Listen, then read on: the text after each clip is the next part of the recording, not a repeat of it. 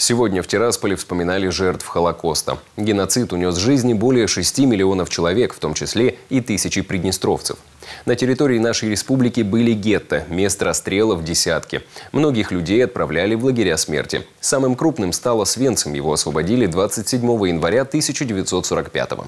Сегодня в канун годовщины вспоминали жертв Холокоста. Тирасполь – памятник жертвам Холокоста. Собираются бывшие узники концлагерей и их родственники. Несут живые цветы.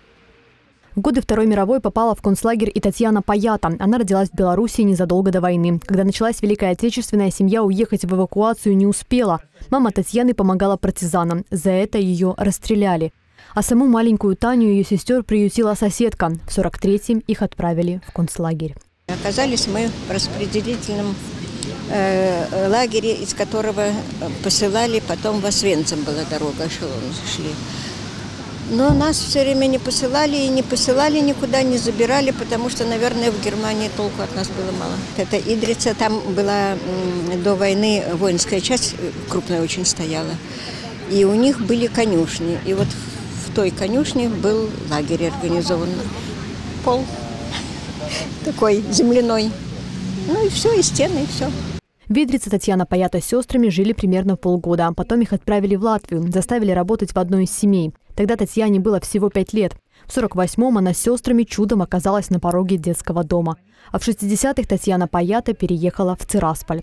А это Герш Галигорский, ребенок войны. Сейчас живет в Цирасполе, а родился на правом берегу Днестра в молдавской Тараклии. В 41-м, когда началась война, с родителями эвакуировался в Казахстан. Многие родственники уехать не согласились. Бабушка и дедушка и моя тетя, мамина сестра. Бабушка, дедушка, мамины родители – они здесь, в Бендерах, погибли. То есть они остались. Мы эвакуировались, они не захотели поехать. И они остались. Где они именно погибли, мы, конечно, не знаем. И где-то вот здесь, а где именно, мы так и не знаем.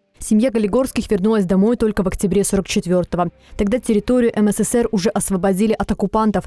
Наши люди все еще оставались в лагерях смерти. Один из самых крупных был Освенцим. Это в Польше. Красная армия освободила узников только 27 января 1945 -го. При освобождении концлагеря Освенцим солдаты, офицеры просто приходили в ужас от той машины уничтожения простых людей.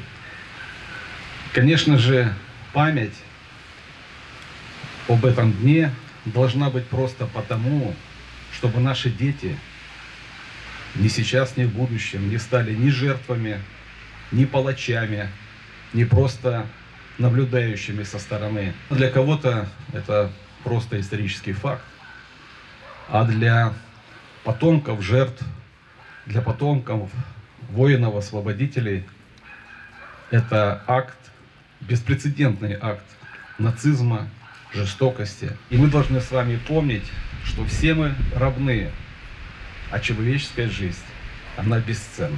К памятнику жертвам Холокоста возложили живые цветы, а еще камни. Так, по еврейской традиции, чтут память погибших.